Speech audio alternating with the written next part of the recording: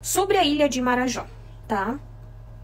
É, me veio que, assim, Ilha de Marajó, novamente, vai começar, como entrar no grupo, gente, clica no link nos stories. A Ilha de Marajó, novamente, vai começar a vir à tona virando notícias.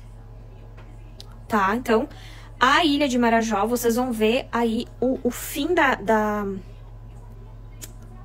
Um fiozinho aí do, do iceberg sendo puxado, tá?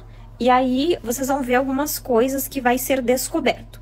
Eu queria que vocês lembrassem também que ano passado eu falei um vídeo que eu, quem lembra, lembra, né? Que eu disse assim, gente, as coisas que vão ocorrer nos últimos anos referente às crianças, Deus ia deixar aberto, Deus não ia mais deixar encoberto, tá?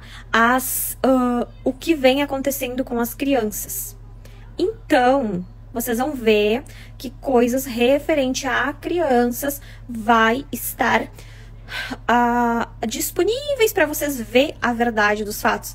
E eu acredito que vai ser aterrorizante, tá? Porque, olha, o que eu vejo, como eu disse, eu não posso falar, mas eu posso dizer que a ilha de Marajó, novamente, estará estampada nas, na, nas páginas.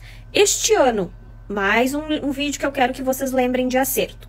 Lembra que no começo do ano eu fui nos programas em São Paulo e o pessoal pediu Chaline, como é que vai ser o 2024? E eu falei, gente, tá regido por água, nananã, tananã, tananã, nada mais vai ficar em oculto. E quando eu digo nada mais, é nada mais, tá?